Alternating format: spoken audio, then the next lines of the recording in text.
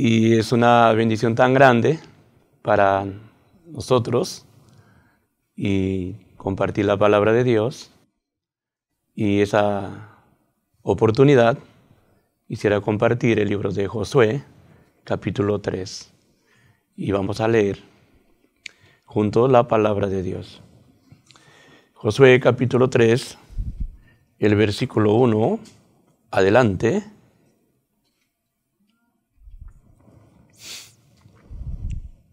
Josué se levantó de mañana y todos los hijos de, Israel partieron de Sitín, vinieron hasta el Jordán y reposaron allí antes de pasarlo.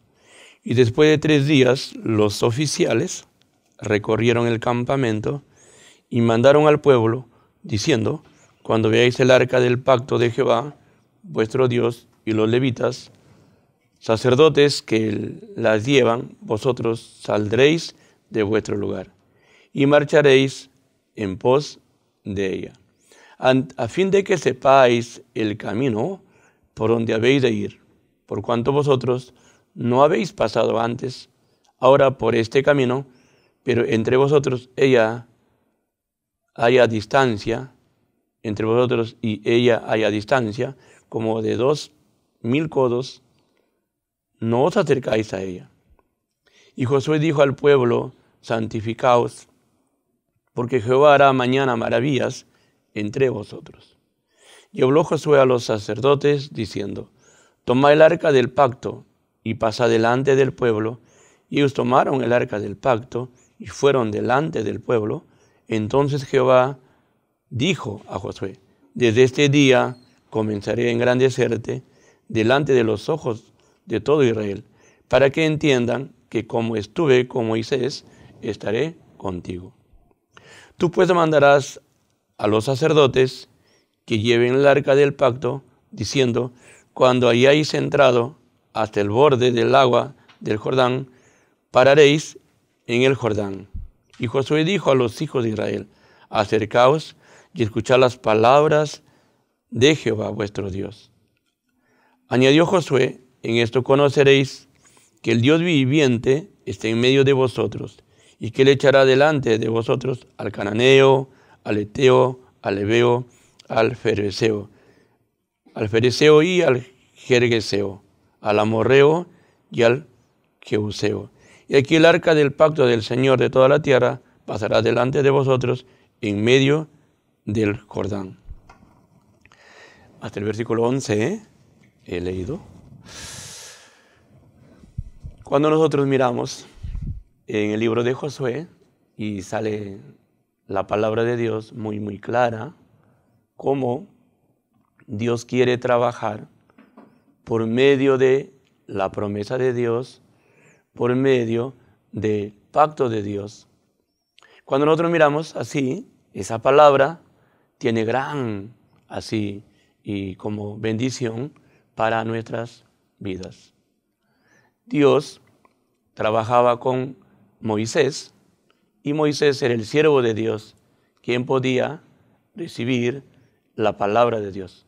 Cuando Moisés podía tener la palabra de Dios, entonces ya él caminaba firmemente su corazón. Moisés fue llamado a los 80 años para que él pueda así servir a Dios. Pero Moisés él no sabía cómo es que Dios va a trabajar con él. A los 40 años, Moisés fue solamente un hombre quien con su manera, con su capacidad, con su sabiduría humana, él podía matar a un egipcio y él fue y él fue escapado. Él se fue hacia el lugar del desierto. Durante 40 años él estaba en este lugar. Cuando nosotros miramos los 40 años de Moisés, que estaba en el desierto, es como un entrenamiento, como una escuela, como el tiempo de Dios para que él pueda así recibir la bendición. Pero cuando nosotros miramos, ya los 80 años, Moisés fue llamado y luego él podía tener la palabra de Dios. Cuando Moisés recibió esa palabra, él se quedó impresionado. ¿Por qué? Dios le dijo que él tiene que sacar al pueblo de Egipto para llevarlo al desierto. El pueblo de Israel estaba en Egipto en duras penas y él tomaba el siervo de Dios llamado Moisés en ese entonces y quería llevarle hacia el mundo de Dios que creó para todos sus hijos. Cuando nosotros miramos la palabra, podemos ver gran bendición de Dios, porque Moisés en ese entonces, él piensa que yo no, yo no puedo hablar. Yo soy tardo de lengua, yo no tengo ningún poder. Así en su corazón había, pero Dios le dijo que ¿quién dio la boca al hombre? Cuando nosotros miramos el, libro de Éxodo, capítulo 4. Vamos a mirarlo. Éxodo capítulo 4. Éxodo capítulo 4 y el versículo 10. Entonces dijo Moisés a Jehová, ay Señor, nunca he sido hombre de fácil palabra, ni antes, ni desde que tú hablas a tu siervo, porque soy tardo en habla y torpe de lengua. Jehová le respondió, ¿quién dio la boca al hombre? ¿O quién hizo al mudo y al sordo? Al que ve, al ciego, no soy yo, Jehová. Ahora pues ve y yo estaré con tu boca y te enseñaré lo que hayas de hablar. Ya cuando Dios le dio esa palabra y Moisés ya no tiene, ¿cómo? ¿Cómo él puede quedar? ¿Cómo él puede decir? Dios le llamaba para que él pueda hablar la palabra de Dios, el mensaje de Dios a su pueblo. Cuando nosotros miramos, Dios está trabajando maravillosamente. Así, en el libro de Génesis se ve, Dios llamó a Abraham. En el libro de Éxodo se ve, Dios llamó a Moisés. Dios quiere trabajar maravillosamente en esta tierra. Y en ese tiempo también Dios nos llamó a nosotros. Cuando nosotros miramos así, ah, qué grande es su misericordia, su gran amor para nuestra vida. Porque Él quiere que yo también pueda conocer, ah, yo también fui amado. Y cuando nosotros miramos así, ya podemos pensar muy diferente. Ante la palabra de Dios, nosotros no podemos rehusarnos, sino nosotros podemos marchar cuando nosotros miramos que todos los que estamos acá también podemos recibir esta bendición de Dios. Romanos capítulo 1, vamos a mirar.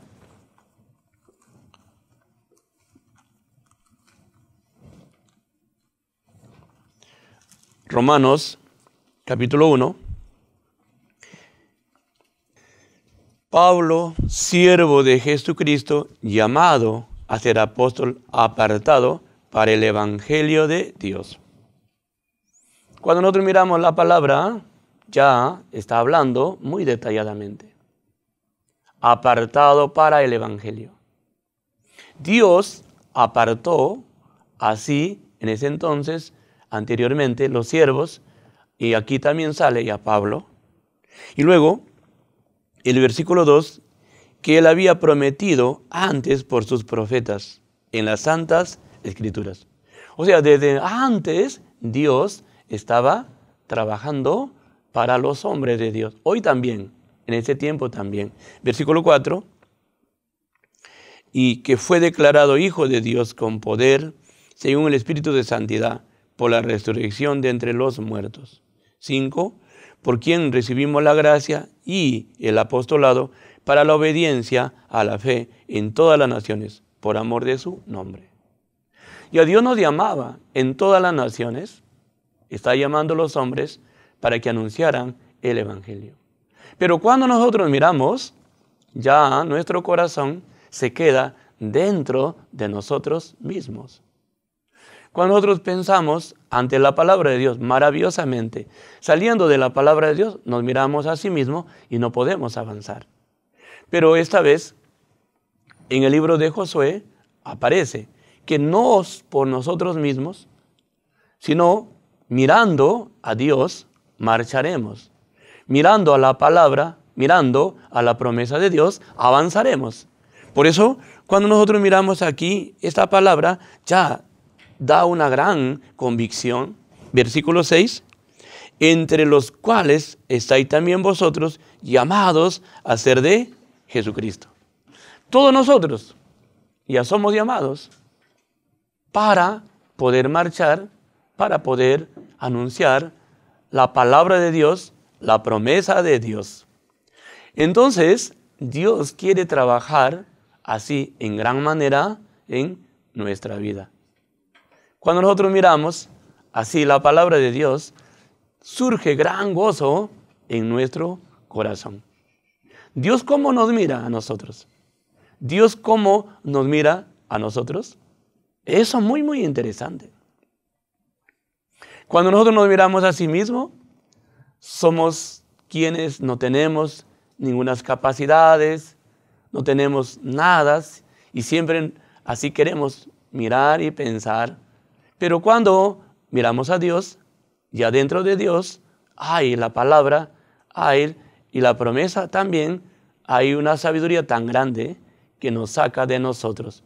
Por eso, en el tiempo de, libro de Josué, aparece esa palabra, ya no por nosotros. Vamos a mirar Josué, capítulo 3.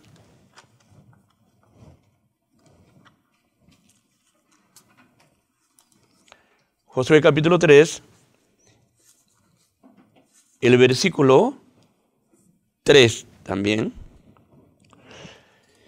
Y mandaron al pueblo diciendo, cuando veáis el arca del pacto de Jehová vuestro Dios y los levitas, sacerdotes que la llevan, vosotros saldréis de vuestro lugar y marcharéis en pos de ella. Cuando nosotros salemos de nosotros, podemos marchar hacia Dios. Podemos marchar hacia su voluntad. También en San Juan capítulo 14 dice, yo soy el camino, yo soy la verdad, yo soy la vida. Nosotros tenemos que marchar en ese camino. Nosotros tenemos que caminar hacia ese camino. Primeramente, Dios quiere que dentro del corazón de nosotros se establezca la palabra de Dios. Cuando se establece la palabra de Dios, dentro de nuestro corazón, entonces usted tiene la seguridad, usted tiene la convicción. Entonces nosotros no enseñamos a los demás. Nosotros nos enseñamos a nosotros mismos. Nosotros no repartimos un conocimiento. Nosotros hablamos la vivencia real con Dios, unido con Dios. Cuando salimos de nuestro lugar, cuando salimos de nuestro punto de vista, podemos entrar dentro de la promesa de Dios, dentro del punto de vista de Dios. Según el punto de vista de Dios, cómo nos mira a nosotros. No como nosotros nos miramos a nosotros mismos, sino como Dios mira a nosotros. Él dice que nosotros somos de gran estima ante sus ojos. Porque Dios quiere unificar nuestro corazón. Cuando llegó a nosotros esta bendición tan grande, este Evangelio, el poder de Dios también llegó a nuestra vida. Es por eso que nosotros podemos marchar, podemos caminar, podemos accionar a través de la palabra de Dios. Ya puede darnos gran así fuerza en nuestro corazón. Entonces Dios, para preparar el corazón de Josué, le mostró a él, mira, tranquilo, así como yo trabajé con Moisés, también trabajaré contigo. Yo te ayudaré, yo estaré contigo. Cuando nosotros miramos esta palabra, la palabra de Dios puede entonces manifestarse también con nosotros. Dios así quiere darnos esta seguridad.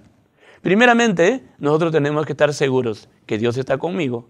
Por eso siempre podemos ver tres cosas muy importantes.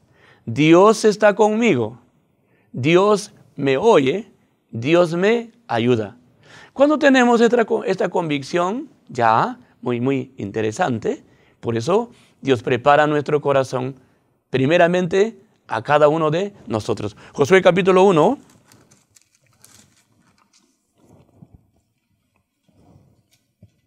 el versículo 5, leeremos. Josué capítulo 1, el versículo 5. Nadie te podrá hacer frente en todos los días de tu vida. Como estuve con Moisés, estaré contigo, no te dejaré ni te desampararé. Ya cuando nosotros miramos esa palabra, ya maravillosamente podemos caminar, podemos tener esta convicción, esta seguridad. Para que nosotros podamos tener esta convicción, no es esforzarnos, es creer en la palabra de Dios. Josué recibió esta bendición de Dios. Pero para recibir Josué esta bendición, él no se apartó de su mentor, no se apartó de su guía. Siempre caminó con Moisés. Cuando Moisés estaba así, marchando con gran promesa de Dios, con gran, eh, con gran bendición de Dios, entonces Josué también miraba, pero ahora Dios le dice a Josué, exactamente, hermanos, compañeros, todos los oyentes, donde se encuentran, por medio de las redes, por donde están, Dios también quiere trabajar de la misma manera. Dios quiere manifestar en esta tierra, a través de la palabra, a través de la promesa, quiere manifestar a todas las personas que creen a esa palabra. Versículo 5, nadie te podrá hacer frente en todos los días de tu vida, como estuve con Moisés, estaré contigo, no te dejaré ni te desampararé. Ya nosotros, con esta palabra, podemos marchar, podemos caminar. Podemos también lograr esta bendición que encontró Josué. De la misma manera, nosotros podemos encontrar esta gracia de Dios que está preparada para todos nosotros. Cuando nosotros miramos el versículo 9, dice, mira que te mando que te esfuerces y seas valiente, no temas ni desmayes. Porque Jehová tu Dios estará contigo en donde quiera que vayas. Cuando miramos el versículo 9, ya podemos ver igualmente, donde quiera que vayas, estaré contigo. Donde quiera que tú, que tú estés, yo no te dejaré. Entonces, cambiamos de parecer, marchemos no según nuestro plan, sino según el plan de Dios, según la promesa de Dios, marcharemos. En ese entonces, ya Josué ya tiene la palabra de Dios, él en su corazón tiene la promesa de Dios en su corazón, entonces él también quiere caminar como caminó Moisés, como Dios le ayudó a Moisés, también él cree, Dios me ayudará a mí. Cuando nosotros miramos así, entonces ya no hay ninguna cosa que me pueda detener, sino sabemos claramente que Dios no nos dejará también a nosotros. Por eso cuando miramos aquí, el versículo 9 dice así, ¿no? Mira que te mando que te esfuerces y seas valiente, no temas ni desmayes. Ya claramente podemos ver el trabajo de Dios, cómo quiere realizar en ese tiempo también con nosotros. Es por eso que fijemos nuestra mirada a la palabra de Dios. En este mundo, ¿cómo tenemos que marchar? ¿Cómo tenemos que caminar? Y el libro de Hebreos capítulo 12, vamos a mirar. Hebreos capítulo 12, versículo 1 y 2, leeremos. Por tanto, nosotros también, teniendo en el alrededor nuestra tan grande nube de testigos, despojemos de todo peso y del pecado que nos asedia. Corramos con paciencia la carrera que tenemos por delante. Puesto los ojos en Jesús, el autor y consumador de la fe, el cual por él gozo, puesto delante de él, sufrió la cruz, menospreciando el oprobio, y se sentó a la diestra del trono de Dios. Entonces, cuando nosotros miramos, marchemos puestos los ojos en el autor y consumador de la fe. El Señor Jesucristo es el autor y consumador de la fe. Josué, en ese entonces, también él le dijo, marchemos, vayamos hacia adelante, caminemos. Y el arca del pacto está delante de vosotros. Entonces, en ese entonces también se manifestaba la promesa de Dios, la palabra de Dios, y cuando nosotros miramos, caminaremos ante esa palabra, caminaremos y veremos la obra de Dios. Es por eso que cuando nosotros miramos así, la fe que hay en el siervo también va a manifestar a nosotros. En ese entonces, Josué podía ver en Moisés la fe, la palabra de Dios, la promesa de Dios, él también se quedó así. Ya él recibía esta gran gracia, esta gran bendición.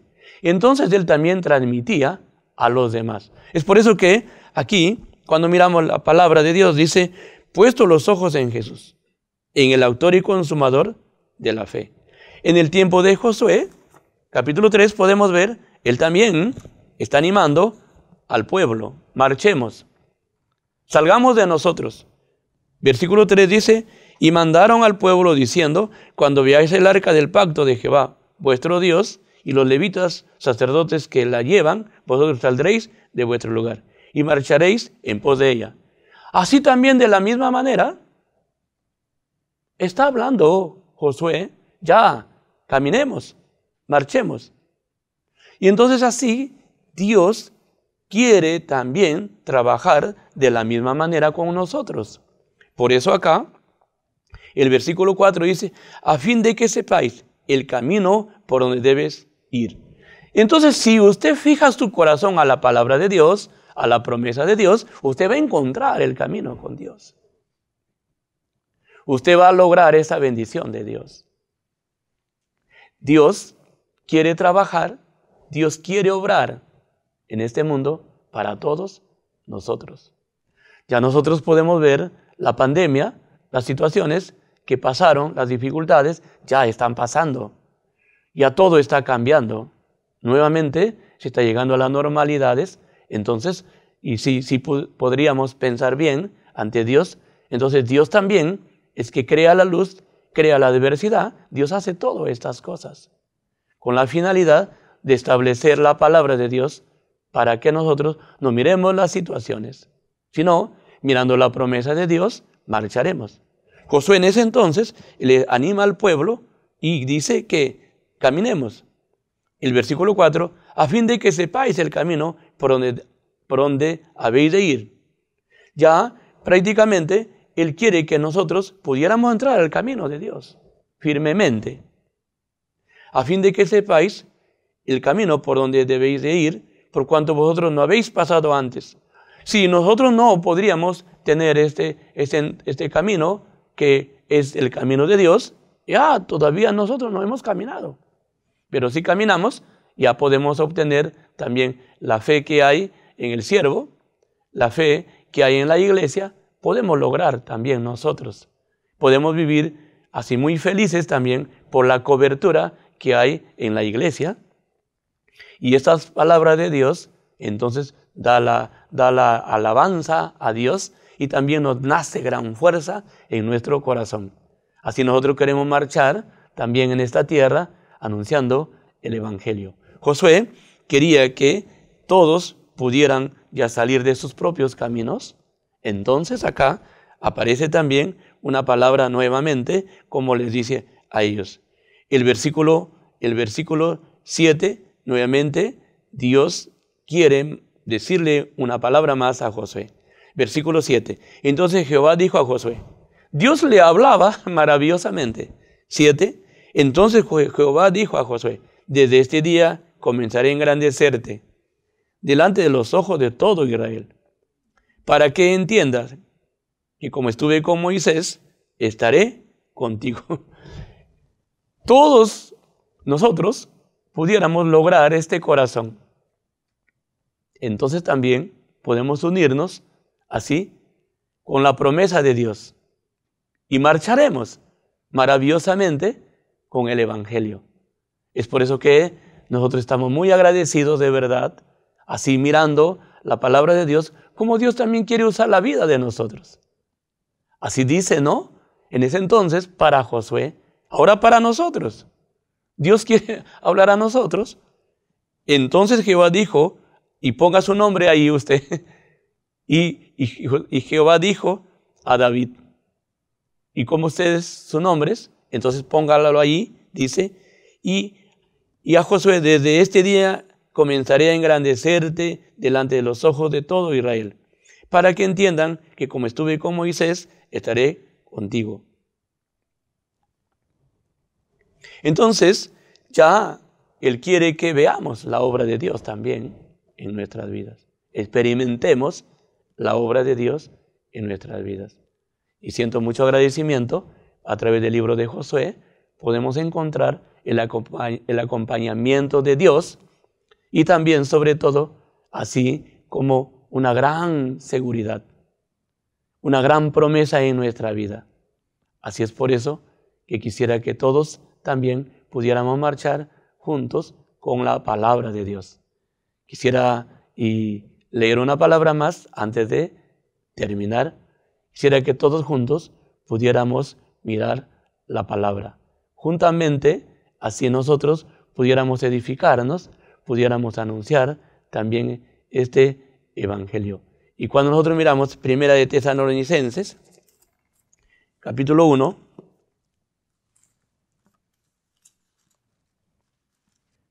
Pues nuestro Evangelio no llegó a vosotros en palabras solamente, sino también en poder, en el Espíritu Santo, en plena certidumbre, como bien sabéis, cuáles fuimos entre vosotros por amor de vosotros. Y muy interesante el versículo 6.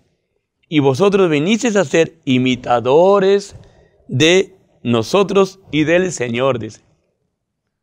Luego, recibiendo la palabra en medio de gran tribulación, con gozo del Espíritu Santo.